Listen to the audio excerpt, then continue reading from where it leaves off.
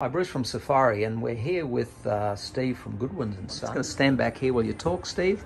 What are you most proud of with this? Of uh, the customer let us create a, a large open plan motorhome. Totally, look at this, Steve's own design. It's just incredible. It's just a totally finished, that's a slide out, a massive slide out and we go for a walk down here. We've got the bedroom, we've got the bathrooms at the end, but I'm going to keep some video for outside. Let's have a look outside. outside with Steve again, and this has got all the outside gear in, 55 inch tally outside here as well.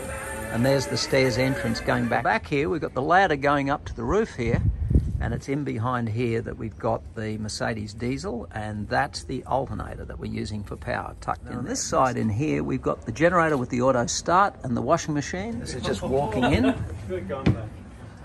display up here.